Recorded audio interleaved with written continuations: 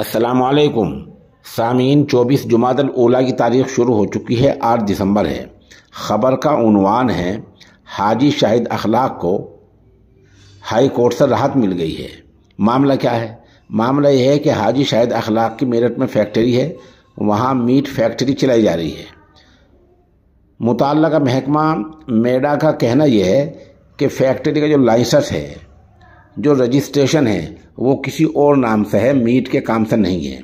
Meet की factory चलाने की वजह से हमने आदेश दिए थे सीलिंग के कि इसको सील कर दिया जाए। लेकिन हाई कोर्ट ने उनकी बात सुनी है और हाई कोर्ट ने कहा कि सील न की जाए और हाजी साहब को आदेश दिए हैं कि आप अपनी पुरानी दलीलें भी और अपना नया जवाब भी। सब कुछ आप अफसरों को सुनाएँ और साथ साथ एक हफ़्ते का इसमें वक्त दिया गया है और ये भी आदेश हाईकोर्ट ने दिए हैं कि आखिरी कार्रवाई तक सीलिंग की कार्रवाई, यानी सील करने कार्रवाई न की जाए। इस तरह ये एक बड़ी कामयाबी है और हाजी शाहिद अखलाक साहब को फ़िलहाल हाई कोर्ट से राहत मिल गई है।